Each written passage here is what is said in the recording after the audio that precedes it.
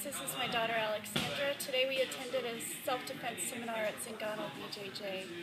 I feel like we learned um, how to be more aware of our surroundings, what to do if we would be attacked. Uh, they taught several techniques that could be done by a child with someone that's an adult.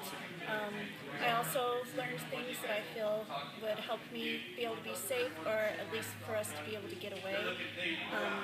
We also talked a lot about just what for children, what to be aware of and um, kind of be more aware of their surroundings and ways that we wouldn't get in a position where we would have to protect ourselves, but that we feel like we can if we would. And if we were to hold another one of these, would you recommend it to somebody else? I definitely would. I would have all my friends come. We had a couple friends come today, and we would attend again as well.